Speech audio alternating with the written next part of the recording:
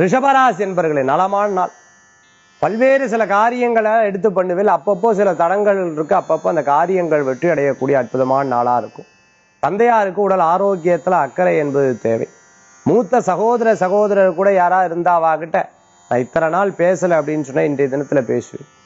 கணவன் மனைவியா இருந்து பிரிந்தவா திரும்பி ஒன்று சேர்றதுக்குள்ள நல்ல நாளாகி இன்றைய தினம் உண்டு. வயசானவாளுக்கு உடம்பு சரியில்லைன்னா மற்ற வேலைகள்லாம் நமக்கு ஓடாது. ரொம்ப கவனமா பார்த்துக்க வேண்டியதா இருந்துருக்கும். ரிஷபராசி என்பவர்களுக்கு சில முயற்சி பண்ண விஷயங்கள்லாம் லாபாரமா நடக்கும். அரசாங்க கான்ட்ராக்ட்லாம் எடுத்து நடத்தின்னு இருக்கிறவளுக்கு வெற்றி உண்டு. நான் ஐடியில் ஒர்க் பண்றேன். ஆன்சைட் வேலை எனக்கு கிடைக்குமா? நிச்சயம் வேலை கிடைக்கும். மீடியா சம்பந்தமான துறையில் இருக்கிறவாளுக்கு வேலை வாய்ப்பு வெற்றியா இருக்கும்.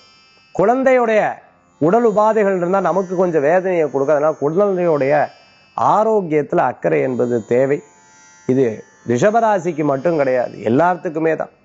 நிறைய தண்ணி எண்ணி எல்லாம் அங்கே தேங்கி வச்சிருந்ததுன்னா முதல்ல அதை சுத்தமாக தொடச்சு விடணும் ஏன்னா இன்றைக்கி நிறைய இந்த டெங்கு காய்ச்சல் போன்ற காய்ச்சல்கள்லாம் வரங்காட்டி அது பன்னெண்டு ராசிக்குமே கவனமாக தான் இருந்துட்டு இருக்கணும். முதல்ல அதெல்லாம் சுத்தம் செஞ்சு வைக்கணும். அதே மாதிரி உடம்பு சரியில்லைன்னா முதல்ல போய் மருத்துவரை பார்க்கறது ரொம்ப நல்லது. ரிஷபராசி என்பர்கள் வியாபார விஷயங்கள்ல அமோக வெற்றியும் உண்டு. இன்றைய தினத்தில் அதிர்ஷ்டம் தரக்கூடிய அற்புதமான என் ஐந்து நிறம் சிகப்பு வழிபாட்டுக்குண்டான தெய்வம் துர்க்கை வழிபாடு மகத்துவமான வழிபாடு ரிஷபராசி அன்பர்களே.